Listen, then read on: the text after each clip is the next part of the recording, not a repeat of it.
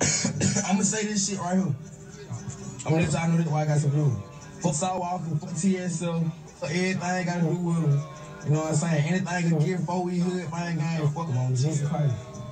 And that's how I'm coming. Big if I ain't got anything want to the shoot or kick, we can do this. I'm gonna say this shit right here. I'm gonna let y'all know this why I got some blue.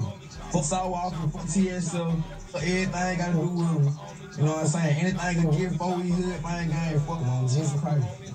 And that's how I'm coming. Big hood, if I ain't got anything want to shoot kick, we Short can manner, leading fans to speculate that either Bryshere has gone crazy or he's on drugs.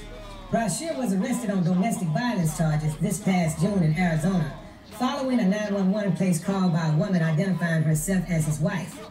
The the video was taken immediately after the arrest when police interrogated the actor. Bryshere was acting strange. He kept fidgeting and rambling on about processed food.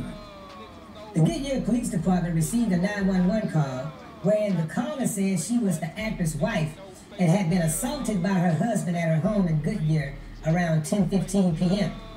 A press release regarding the arrest added more detail, stating that the woman made the call after being given a ride by someone she flagged down at a gas station. She told the person who drove her that she had been assaulted for several hours.